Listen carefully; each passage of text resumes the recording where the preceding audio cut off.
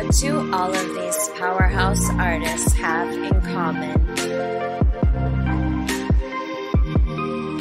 They all work their buns off year round so that when they come to our town, they can give us the show of a lifetime. There are so many people working together to make sure this extravaganza goes off without a hitch. One thing that helps them get the job done is a very special document called the tour rider.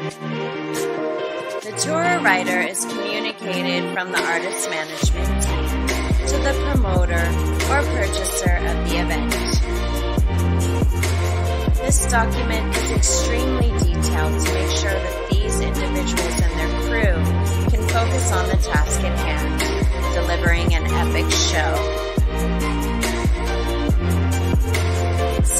artist and their crew are far from home, the purchaser of the services wants to make them as comfortable as possible and accommodate any special needs they may have for the duration of their stay.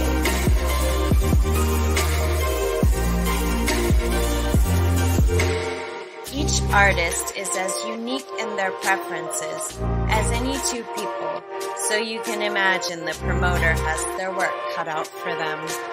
The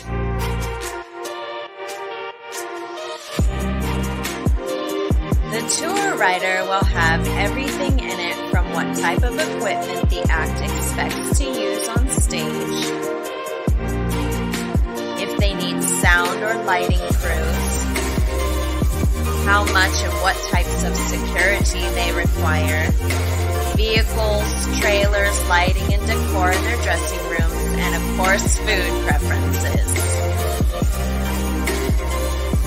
While some artists may seem to be abusing their power by demanding something like multiple bowls of M&Ms with all brown ones removed or they won't go on stage, or others may just be concerned with hygiene and want a brand new, untouched toilet seat in their washrooms.